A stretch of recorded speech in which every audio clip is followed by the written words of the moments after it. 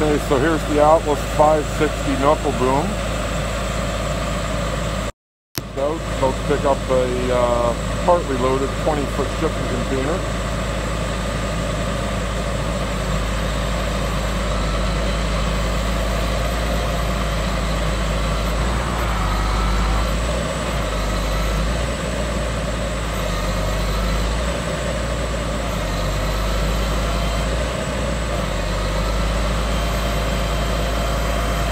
Up and away. He's going to pick it up from there, swing it around, load it onto the back of the tow truck.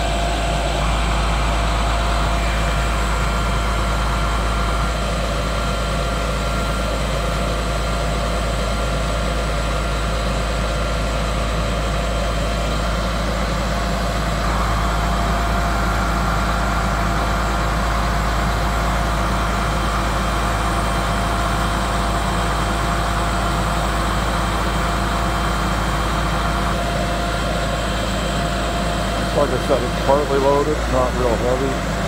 Uh, this one's got a side door on it.